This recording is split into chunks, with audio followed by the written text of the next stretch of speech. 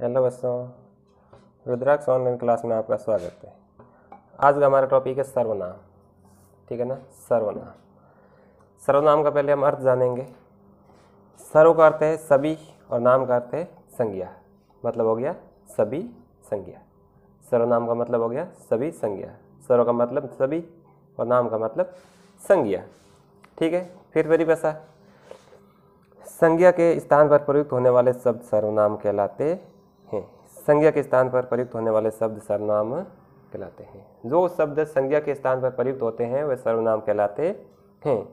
नाम का अर्थ ही संज्ञा होता है। मतलब संज्ञा के स्थान पर प्रयुक्त होने वाले शब्द हमेशा सर्वनाम कहलाते हैं। देखो आगे। अर्थात किसी वाक्य में एक ही शब्द की बार बार पुनरावृत्ति नहीं हो, इसके लिए संज्ञा के स्थान पर जिन शब्दों का प्रयोग किया जाता है, उन्हें सर्वनाम कहते हैं। यानी बार बार एक ही शब्द की पुनरावृत्ति मतलब एक एक ही शब्द बार बार नहीं आ जाए।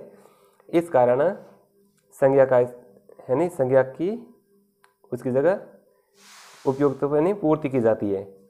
यानी संज्ञा के स्थान पर प्रयुक्त होने वाले शब्द सर्वनाम कहलाते हैं और एक ही शब्द की बार बार पुनरावृत्ति नहीं हो, इसके लिए संज्ञा के स्थान पर जिन शब्दों का प्रयोग किया जाता है, उसे सर्वनाम कहते हैं।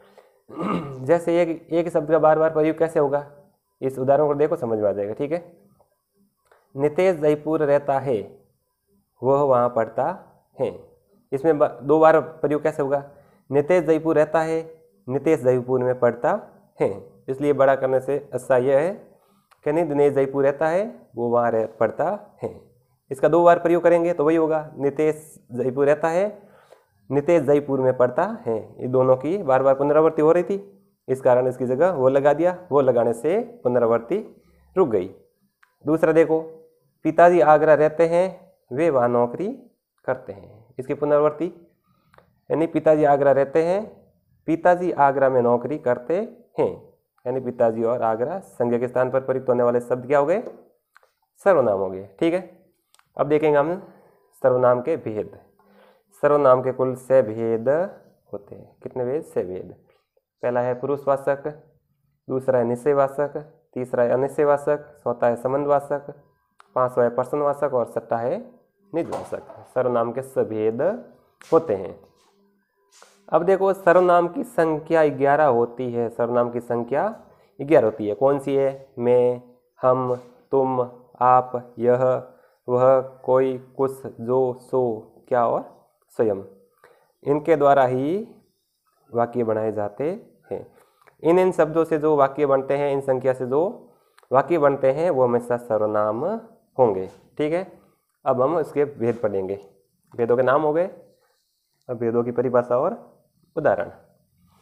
पहला है हमारा पुरुषवाचक पहला हमारा पुरुषवाचक सर्वनाम।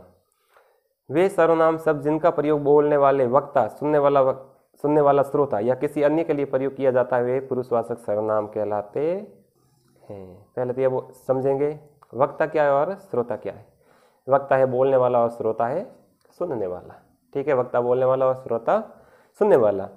वे शब्द जिनका प्रयोग बोलने वाले वक्ता और सुनने वाले श्रोता या किसी अन्य व्यक्ति के लिए प्रयोग किया जाता है, उसे सर्वनाम कहते हैं। या सुनने वाला या बोलने वाला या किसी अन्य व्यक्ति के लिए इसका प्रयोग किया जाता है, उसी को हम पुरुषवाचक सर्वनाम कहते हैं। पुरुषवाचक के तीन भेद होते हैं। और पुरुषवाचक के कितने? भेदों के ही भेद उपभेद होते हैं ठीक है? पुरुषवाचक के कितने भेद है? तीन है। पहला है उत्तम पुरुषवाचक सर्वनाम, दूसरा है मध्यम पुरुषवाचक सर्वनाम, तीसरा है अन्य पुरुषवाचक सर्वनाम, ठीक है? हम पहला देखेंगे उत्तम पुरुषवाचक सर्वनाम के बारे में। वे सर्वनाम शब्द जिसका प्रयोग बोलने वाला, वक्ता, सुनने वाला अपने लिए प्रयोग करता है। वे सर्वनाम शब्द जिसका प्रयोग बोलने वाला, वक्ता सुनने वाला वक्ता अपने लिए प्रयोग करता है। बोलने वाला तथा सुनने वाला अपने खुद के लिए प्रयोग करता है। उसी को हम उत्तम पुरुषवाचक सर्वनाम कहते हैं। जैसे इसमें कौन कौन सी संख्या है? मैं है, मुझे है, मेरा है, मुझको है, हम, हमें, हमारा, हमको। इसके द्वारा ही वाक्य बनाए जाते हैं। ये ये शब्द आ जाए तो समझ लेना उत्तम पुरुषवाचक सर्वनाम है। और दूसरा आगे देखो, मध्यम पुरुषवाचक सर्वनाम। मध्यम पुरुषवाचक सर्वनाम। वे सर्वनाम शब्द जिसका प्रयोग बोलने वाला वक्ता सुनने वाले श्रोता के लिए प्रयोग करता है। बोलने वाला किसके लिए? सुनने वाले के लिए जो शब्द का प्रयोग करता है, उसी को हम मध्यम पुरुषवाचक सर्वनाम कहते हैं। जैसे, तू, तुम, तुझे, तेरा, तुझको, तुम्हारा, आप, आपका, आपकी और आपके। ये शब्द है मध्यम पुरुषवाचक सर्वनाम के। इसका प्रयोग होगा तो होगा मध्यम पुरुषवाचक सर्वनाम। पहला था हमारा उत्तम और दूसरा है मध्यम। अब तीसरा हमारा है अन्य पुरुषवाचक सर्वनाम। अन्य पुरुषवाचक सर्वनाम। वे सर्वनाम शब्द जिनका प्रयोग बोलने वाला, वक्ता और सुनने वाला श्रोता किसी अन्य व्यक्ति के लिए प्रयोग करते हैं। बोलने वाला तथा सुनने वाला दोनों ही किसी और के लिए प्रयोग करते हैं, उसी को हम अन्य पुरुष पुरुषवाचक अन्य नाम सुनते ही पता चल गया कि अन्य श्रोता और वक्ता दोनों किसी और के लिए किसी शब्द का या सरनाम का प्रयोग करते हैं, उसी को हम अन्य पुरुष पुरुषवाचक सरनाम कहते हैं। उदाहरण देखो, यह वह ये, वे, आप। यानी जैसे मैं बोला हूँ, यह कौन है, वह कौन है, ये ये ये है, वे, आप।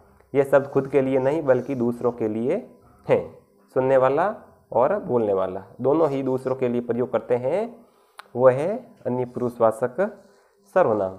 ठीक है, आज का टॉपिक हम यही समाप्त करते हैं और अगला टॉपिक हमारा, यानी अगले भाग हम अगले वीडियो में देखेंगे। ठीक है, यानी सर्वनाम का दूसरा भाग।